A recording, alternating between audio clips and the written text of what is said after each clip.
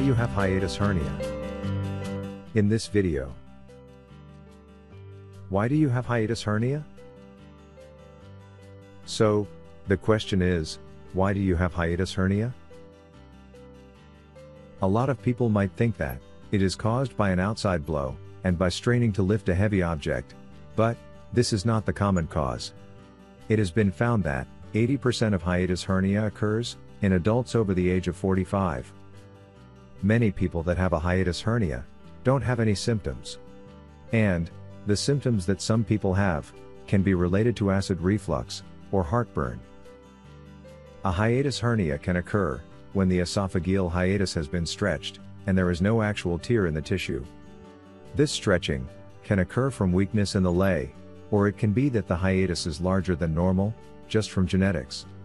When these are the cases, then, it is expected that, the lay and its opening will stretch more as you age. Two types of hiatus hernia. Two types of hiatus hernia occur frequently. Here is what your esophagus and stomach should look like, when you don't have a hiatus hernia. Your lay valve and your stomach, are slightly below your diaphragm. When you do have hiatus that protrudes through your lay valve, this is called, sliding hiatus hernia. This happens, when part of the top stomach pushes into your esophagus. In this condition, the lay valve is weakened, and you are more prone to having acid reflux. This condition is not severe, but, care must be taken, so the condition does not worsen. The second hiatus hernia condition is called, paraesophageal hiatus hernia. This hernia condition is not typical. But, it is worse than a sliding hernia. When this hernia occurs, the esophagus and stomach remain in their normal position. But, when the stomach becomes congested or large, it can slide past the lay valve, and settle along the outside of the esophagus and inside the diaphragm, the muscular area that lies between the chest, and the lower abdomen. There is a third type of hernia that occurs, when you have both the sliding hiatus, and the paraesophageal hiatus occurring at the same time. Cause of hiatus hernia. The basic cause of hiatus hernia is having an unhealthy body, which is caused by having a poor living style. It comes from a poor diet, a toxic body, unhealthy thinking, and lack of exercise. It is caused by having an acid body, where you have excess body acids that are causing your body to be imbalanced in digestion, absorption, and assimilation. This results in a weakness in organs and muscle tissue.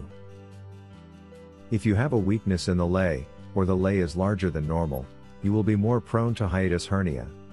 Also, if you have a poor lifestyle forming a hiatus hernia, is more likely to occur.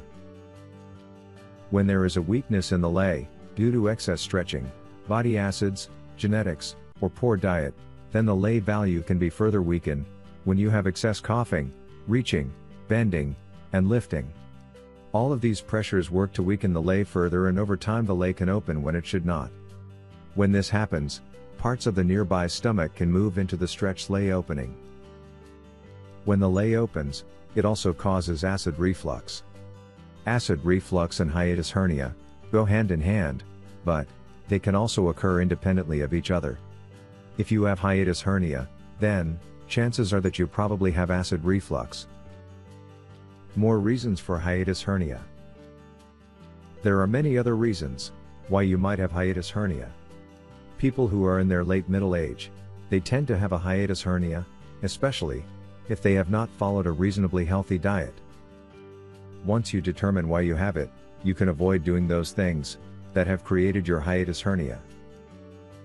Here is a list of different reasons why you might have this condition. Smoking, if you smoke, you are nutritionally deficient, and are more likely to have a hiatus hernia.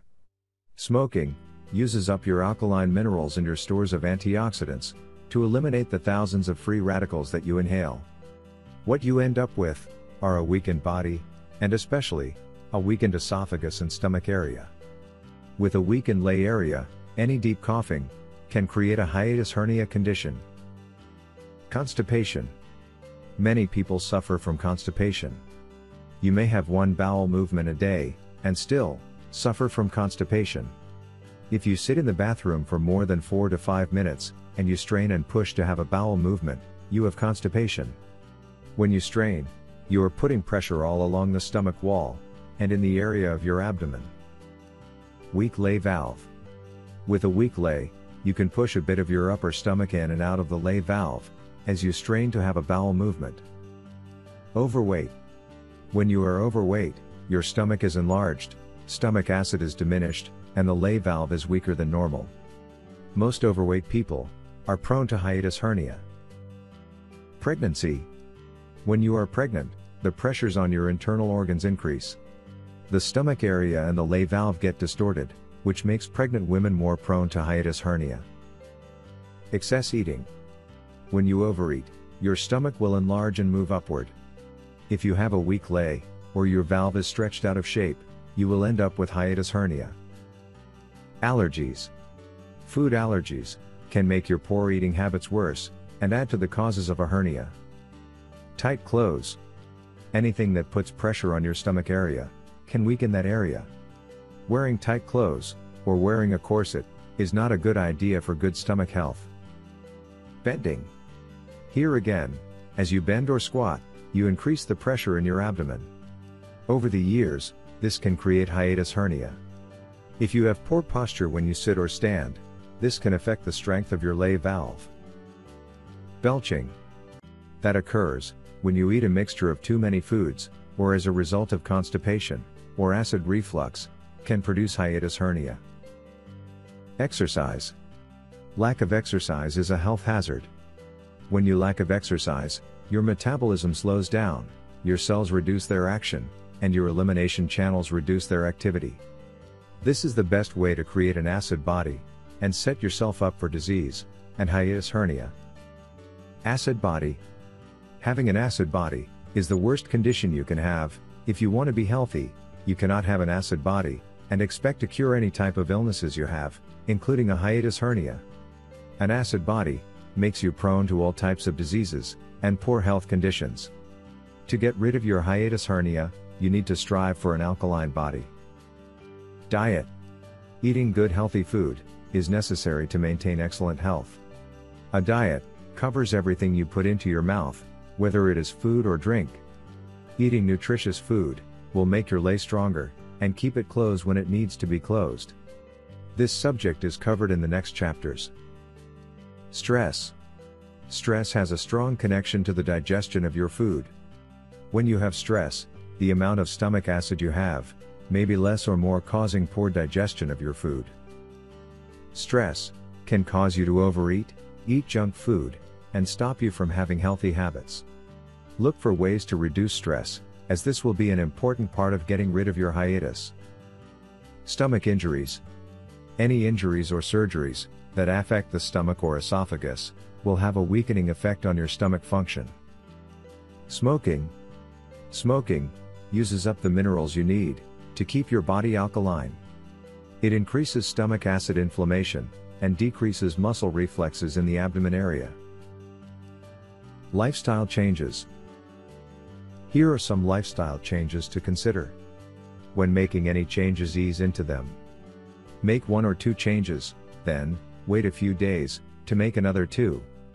You want the changes to become part of your behavior. Instead of eating three large meals a day, try eating smaller meals throughout the day. Eat your last meal, at least 3 to 4 hours before sleeping. If overweight, following the suggestions in this book, will help you lose weight. Eliminate or minimize drinking alcohol. When sleeping, keep your head slightly elevated, to prevent acid reflux. After meals, take a walk, and do not bend or lie down. During a bowel movement, do not push or strain. Using plenty of fiber, green drinks, and fruit smoothies, will make movement easier. Wear loose clothes, to prevent pressure in the stomach area. Final thoughts.